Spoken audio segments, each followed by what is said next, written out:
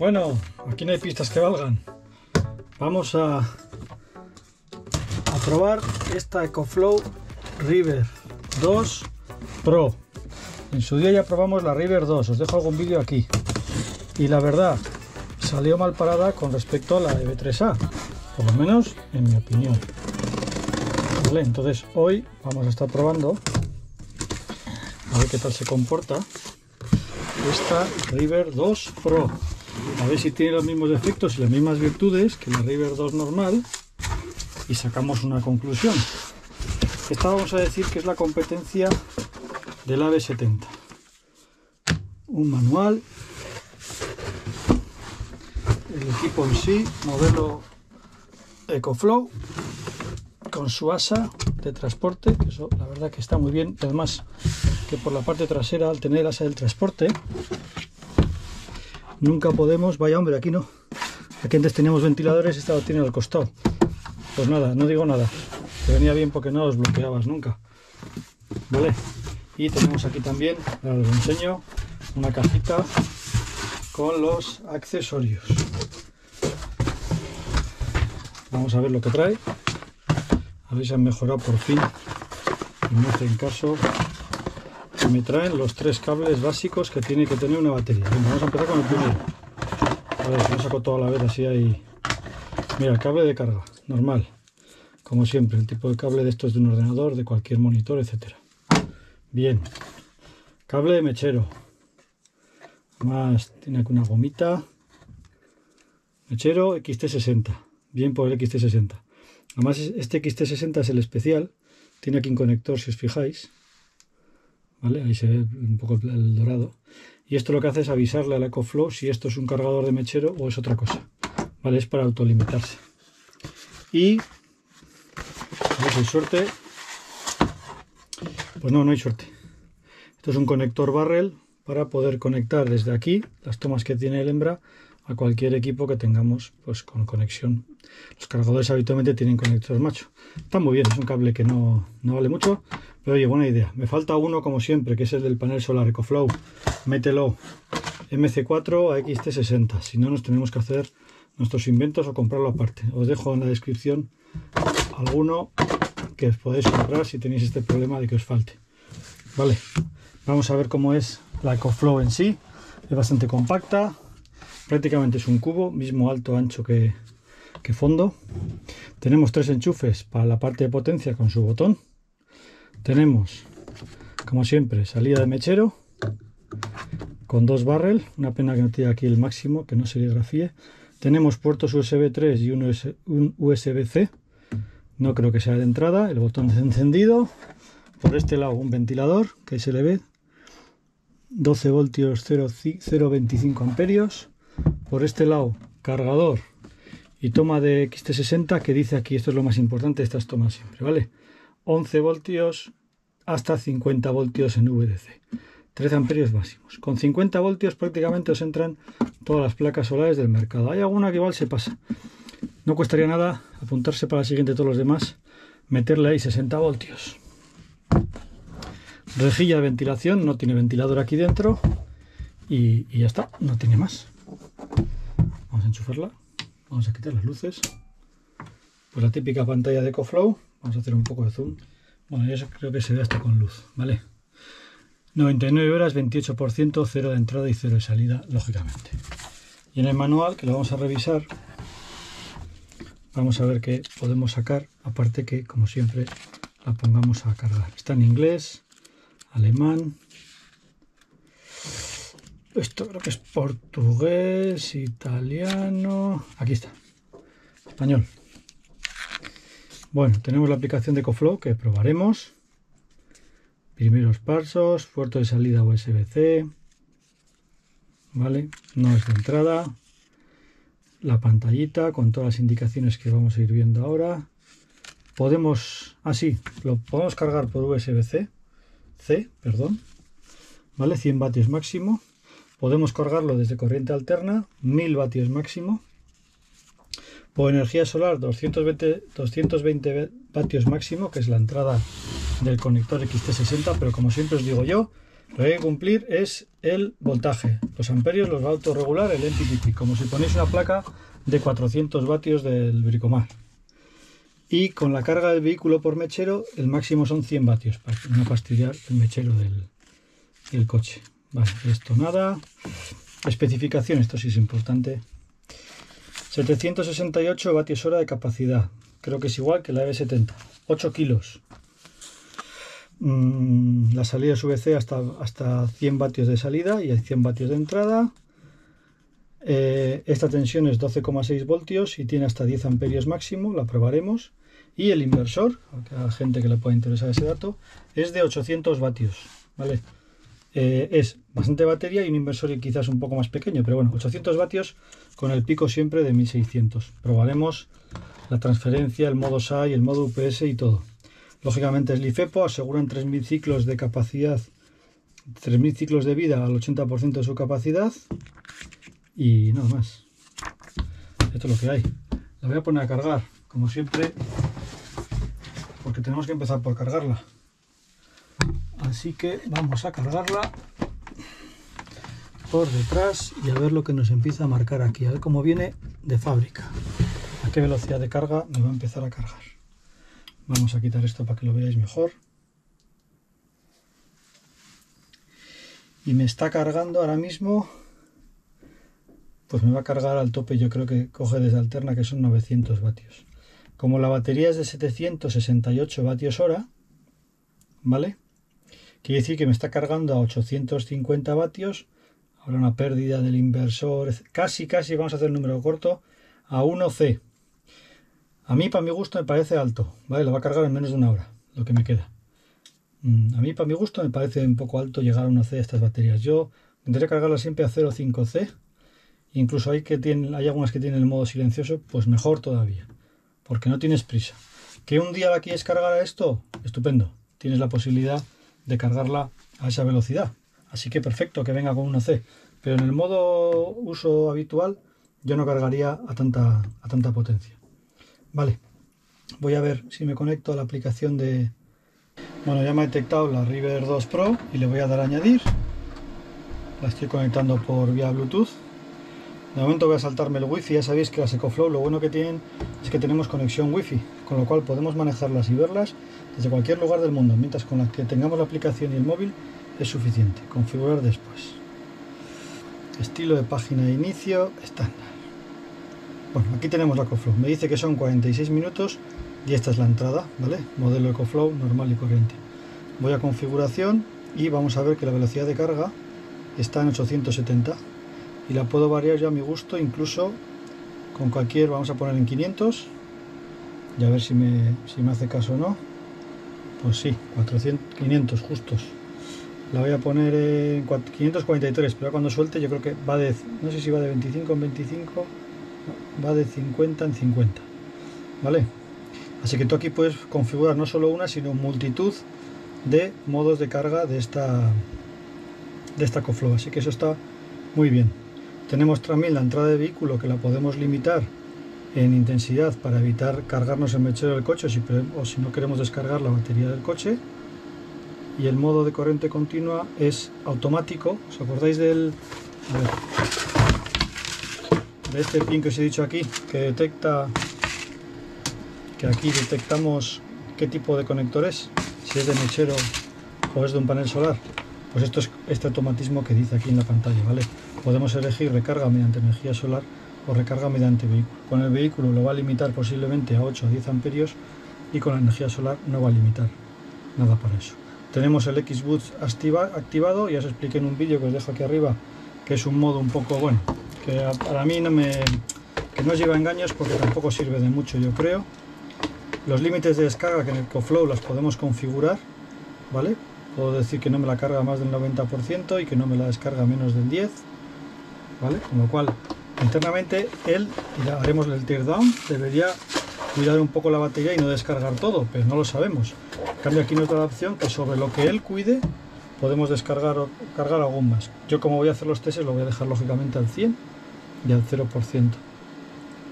Tiempo de espera de la unidad, tiempo de espera de la pantalla, tiempo de espera de corriente alterna. Esto es si la apagamos o alguno por tiempo, si apagamos o no la pantalla y si apagamos o no la salida del inversor que suele ser lo que más consume.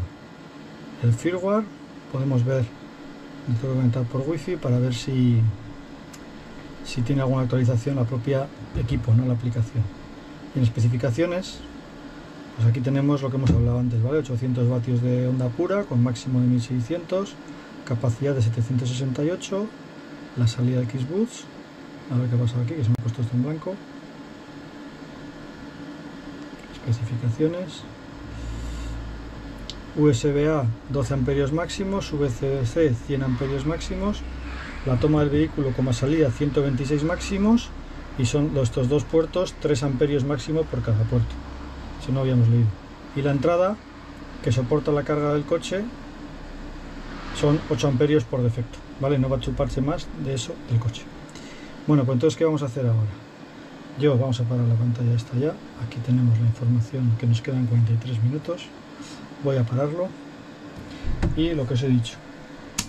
Me quedan 43 minutos para hacer la carga completa y luego probaremos como siempre su descarga en, en AC, en DC, etcétera. ¿Vale? Venga, un momento. Bueno, pues ha terminado de cargarse 100%. La tengo enchufada todavía con el cable de red eléctrica y tengo ya todos los transmotas enchufados. Ya sabéis que no uno, sino dos, sino tres enchufes pongo, si puedo, para controlar esto. Entonces vamos a ver la pantalla. El 1 me está midiendo 2 vatios, el 2 me está midiendo 1 vatio y el 3 me está midiendo 0 vatios. ¿Por qué? Siempre lo he explicado. Están en escala. Este es el 3, este es el 2. ¿Qué pasa? Que este mide el consumo que tiene esto, que más o menos es un vatio. Y este es el 1, que me está midiendo el consumo de este más este, pues eso son 2 vatios el 1 es 2 vatios, ¿vale? Entonces, ¿cómo la vamos a descargar? La vamos a descargar como siempre. Yo tengo este sistema, aquí cada uno utiliza el suyo. Son cuatro bombillas halógenas de 50 vatios de esas de los pasillos y los halls de las casas. Son 200 vatios. Los voy a enchufar y vamos a ver qué tarda en descargarse. Lo voy a enchufar cuando quite esto. Claro, cuando quite esto voy a perder la comunicación con esto. Entonces lo voy a enchufar a la vez, lo desconecto y ya está. Ya está aquí. Esto lo, quito ahora. Ya tenemos desconectada la, estación de energía. Vamos a dar la luz ahora esta vez sí. Y lo que os puedo decir es que aquí me está marcando, no sé si quitando la luz, lo vais a poder llegar a ver. 196 vatios de salida, me marca que son como 3 horas. Y si nos vamos a los PCM, el primero me está marcando 205, 206, el segundo 205 y el tercero pues 206. Muy parecido a los tres, ¿vale? Más o menos un vatio cada uno, por lo que también os he dicho, etc. Redondean un poco. Y este en cambio me marca 195. Bueno, más o menos vamos a decir que solo hay un, ¿eh? un 5% de error, ¿no? En la medida. Estos tres yo creo que miden bien porque están súper comprobados. Esta, bueno, 5% de error, bueno, vale. Lo dejamos aquí. Voy a monitorizar como siempre, todo, vamos a ver toda la gráfica.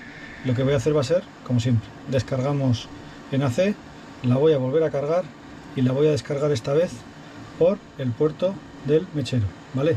Una descarga en DC. Y vamos a ver luego la gráfica final comparando las dos descargas y comparando los rendimientos que en principio da esta EcoFlow. Como siempre, hasta que no la podamos abrir y ver lo que tiene dentro y cómo lo hace dentro, no podemos asegurar que sean buenos o malos resultados. Bueno, Vamos a ver lo que da. Ahora así que os dejo y, os voy a dejar cuando acaba la descarga, meto la carga y luego vemos la descarga otra vez en DC. Venga, hasta ahora.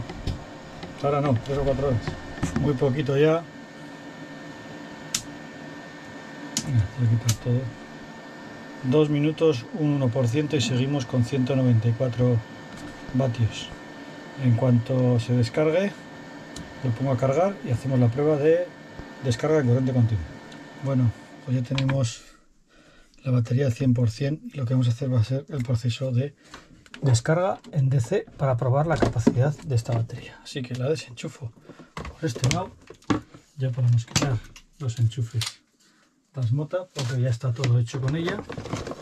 Quitamos la fuente de alimentación. Vamos a poner el descargador como siempre os explico, lo que voy a hacer va a ser conectar a toma el mechero el shunt de este PC, ¿vale? Este PC ya sabéis que es el que nos mide y el que nos va a registrar en la página web. o vía MQTT con las gráficas que yo presento siempre nos va a registrar los valores de tensión que voy a medir a la salida del mechero y lógicamente la intensidad que circula por este. Lo hemos utilizado un montón de vídeos. Si alguien tiene alguna duda, que me pregunte, ¿vale? Por no repetirme en todos los vídeos. ¿eh? Vamos a ir enchufándolo para que coja la tensión wifi. Y aquí lo que voy a hacer también va a ser conectar con este cable rojo al polo positivo del mechero para que me tome este PC el valor de la salida que tenemos aquí. Vamos a dar la vuelta que me coincide mejor y lo enchufaremos ahí. Bueno, lo vamos a enchufar para que veamos. Vamos a ver si grabo la pantalla y a ver si el PC ha cogido la señal Correcto. Bueno, ya lo tenemos por aquí, lógicamente marca 0 voltios. Y ahora si lo conectamos, voy a revisar que no haya ningún cortocircuito por aquí. La pinza, el mechero, insertamos, encendemos el on-off y ahora en la pantalla deberíamos ver cómo registra ya. Eso es 12,56 voltios, ya lo veis ahí en la pantalla. ¿vale? Entonces solo me queda conectar el descargador a este lado del, del Zoom y empezar la descarga. Esto ya lo tengo enchufado y vamos a girarlo convenientemente para que esto pueda funcionar. De momento. lo enchufamos conectamos el cable negativo y el positivo para que también tenga medida de tensión que no es absolutamente necesario pero bueno.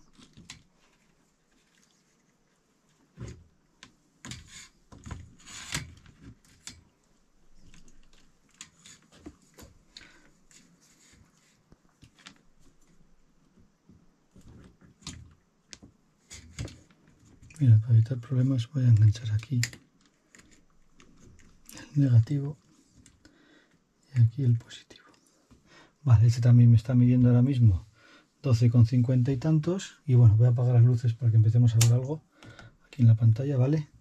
Y le voy a poner, pues como suelo hacer esta prueba, un amperio de momento. ¿Vale? Me marca 12,5 vatios el, el PCM y este me marca 12, así que mide bastante bien. Vamos a subirlo a 5. Me está marcando 61 y el PCM 62. Buena medida. Y por último 8 amperios, que son más o menos 97 vatios. Y este me está marcando 98 vatios.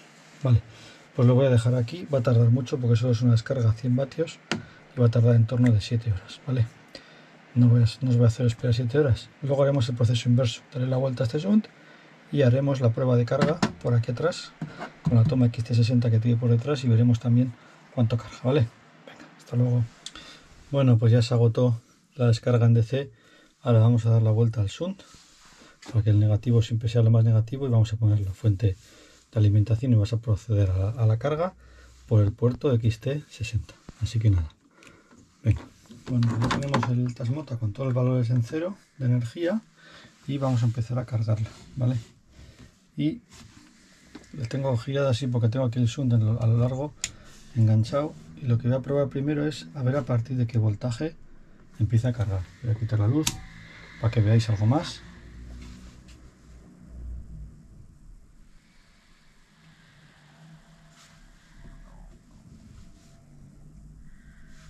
Ya veis que el Tasmota también me marca 1,71 exactamente igual.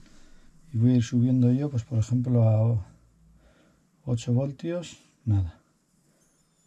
10 voltios.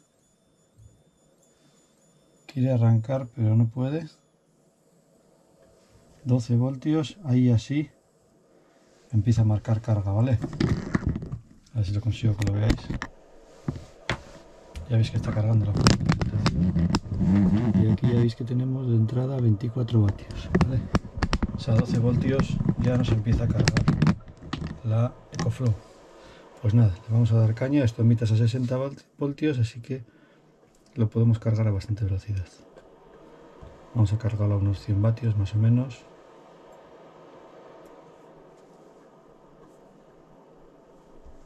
a ver por ahí Esto ya veis que es el funcionamiento de los MPPs que van subiendo y bajando. A ver si logro que se estabilice.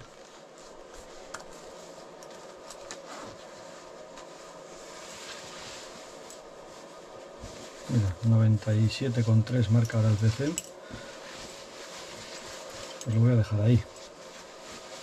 Vale, a ver ahora cuánto nos tarda en, cargar y qué rendimiento tiene en, la carga, ¿vale? Pues nada, aquí lo dejamos y cuando acabe esto ya vemos toda la gráfica de carga y descarga tanto en AC como en DC y también hemos comprobado que a 11-12 voltios ya empieza a cargar. Venga. Nada, ya está al 100%. Así que vamos a mirar la gráfica y venga, y ver los resultados de esta EcoFlow River 2. Pues vamos allá con la revisión de esta EcoFlow River 2 Pro, que tiene 768 vatios hora de capacidad. Y aquí lo que tenemos en esta primera parte es la descarga y la carga en AC, ¿vale?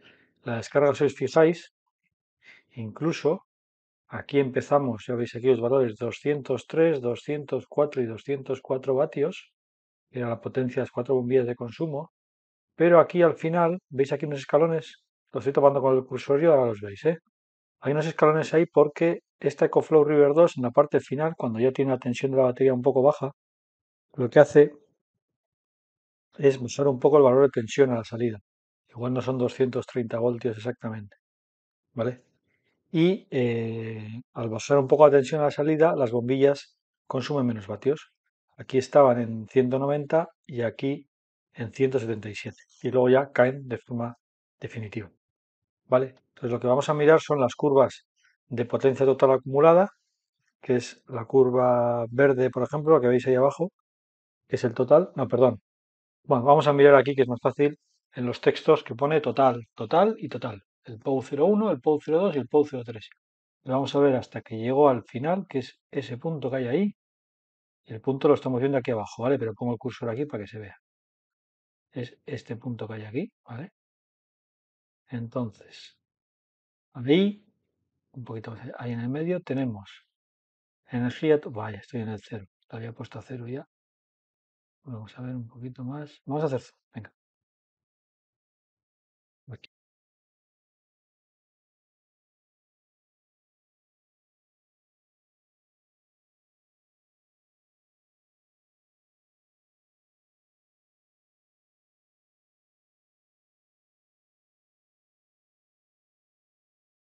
650 entre 768 vatios nominales que tiene la, EcoFlow, nos da un rendimiento en corriente alterna del 85%, que está muy bien. Vamos a pensar que ese 85% es un 5 o un 7% de pérdidas y, y, el restante, un 8 o un 10% de que la EcoFlow, quiero pensar que se guarda cierta capacidad de reserva para evitar desgastar mucho la batería, ¿vale? Pero eso hasta que no hagamos el teardown no lo podemos comprobar. Pero bueno, tiene buena pinta, un 15%. Y esta es la carga. Aquí hubo un problema con unos medidores, ya veis el verde, que de repente aquí tuvo un dato y luego ya está aquí no tuvo el siguiente dato. Y por eso aquí la gráfica me hace una línea recta. Pero los otros sí los hicieron bien, ¿vale? Con sus errores de medición entre uno y otro. Pero aquí, pues ya veis, por ejemplo, aquí estábamos cargando 824, 835 o 844 según cuál yo mediría, ¿vale? Estamos hablando de la máxima diferencia entre uno y otro son 20 vatios, que para 840, 830 de media, 20 vatios entre 830 por 100, es un error del 2,4%, o sea que tampoco es algo exagerado, ¿vale? Entonces, estos fueron aumentando y cuando la EcoFlow está a una cierta carga, ya no carga 800, ya os he dicho que eso es mucha carga, es más de 1C, y descarga, o sea, carga, baja más abajo y carga ya a 475, eh, más o menos 475 vatios. Vale, entonces lo mismo, aquí teníamos los totales en cero y aquí al final tenemos los totales, vamos a ver, aquí fui poniendo ya cero yo, vamos a ver un poco zoom al final. Mm. Los son valores, vamos a ver. He hecho demasiado zoom. Vamos a coger desde aquí. Aquí, por ejemplo, tenemos 964 y 958, el 2 y el 3, y el 1 tenemos 40 no puede ser, el 1 como ha dado las medidas mal, yo creo que lo ha hecho mal. Vamos a fiar de 964 y 900, que es 960. 960 entre 768 útiles, no. Tenemos que mirar lo que hemos sacado realmente, ¿vale? Que eran 560, si no me equivoco. A ver, 560, perdón. 560 entre 768, no. 660 entre 768, esto es. 660 hemos sacado útiles y hemos tenido que cargar 960. Pues 960 entre 660 nos da un 45%, ¿vale? Es habitual, entre un 30 y un 50% de extra es habitual que tengamos que cargar para cargar esa capacidad que hemos descargado. Es curioso, ¿eh? Cuánto gastamos más de luz por la carga. Y eso son por los rendimientos del inversor, la electrónica interna y todo eso. Los, ventiladores también afectan. Si están los ventiladores puestos o no, pues también tienen un cierto consumo durante todo este proceso de carga, ¿vale? Entonces, en principio, en cuanto a lo que es la carga y descarga de corriente alterna, son más, o menos valores normales, ¿vale? 85% de, de, rendimiento sobre la nominal y en la carga, pues eh, un 35, un 45% más que lo que hemos descargado. Como siempre os digo, insisto, estos tests en el que decimos que nos falta un 85% no me sirven de nada hasta que no haga el teardown, teardown y podamos ver cómo, cómo, cuida o no cuida la batería la EcoFlow. ¿vale? No me sirve nada tener un 15% de error o sea, de, diferencia si resulta que luego la EcoFlow lleva la batería a 2 voltios, ¿no? Por celda. Ya sabéis que el mínimo es 2,5. Entonces no me sirve nada, por eso hay que abrirlas, ¿vale? Y por último, el, descarga en corriente continua. A ver, este gráfico es muy grande. Vamos a hacerlo un poco más pequeño. Vale, es este. Aquí tenemos la carga, la descarga, perdón, y aquí teníamos la descarga. Están dos partes, entonces lo que vamos a hacer va a ser primero analizar una parte y luego la otra, ¿vale? Hacemos esto. Esto es la descarga. Si os fijáis, empezamos en 98,76 vatios y acabamos en 98,04 vatios. todo muy estándar. Les vamos a fijar en la curva azul, es la que va acumulándome los vatios hora, ¿vale? Vatios hora, vatios hora, vatios hora. A ver cuánto hemos descargado en DC. 660 en, en AC. A ver en DC. Pues 706. Lógicamente es más porque el conversor DC-DC tiene menos pérdidas que un conversor en corriente alterna. Hemos dicho 707. 707 entre 768, un 8% solo de diferencia, no voy a llamarlo pérdida, de diferencia. Ese 8% hay un ratio del conversor de CDC y luego lo que se cuide la batería EcoFlow para no descargarla hasta el máximo, ¿vale? Y no cargarla hasta el máximo. Vamos a ir a la parte de carga. A ver cuánto hemos necesitado para cargar esta batería. Lógicamente empezamos en cero en la curva azul. Aquí se cargó también, si os acordáis, ya veis el voltaje 25 y 3,8 amperios, que es lo que teníamos en la fuente de alimentación, ¿vale?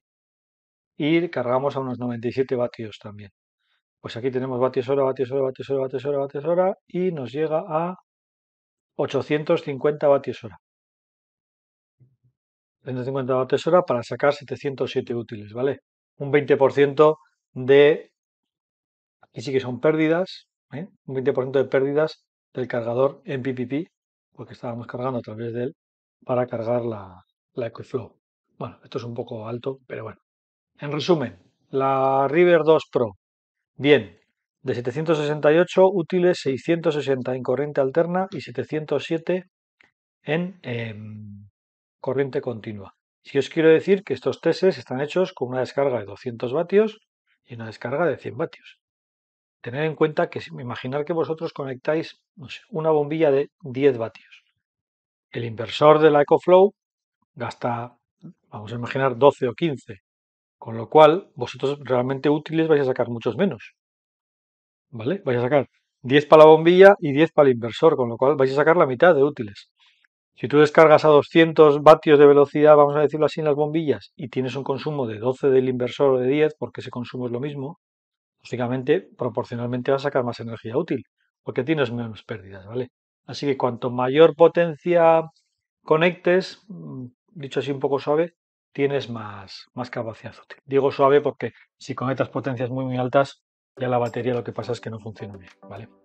Así que nada, venga, seguiremos con los tests, esperadme un nuevo vídeo, suscribiros y ya sabéis, darle al like y compartir. De momento está River 2 Pro, bien, y además la aplicación tiene, la verdad que tiene muy buena. Las mejores aplicaciones que he visto. Hasta luego.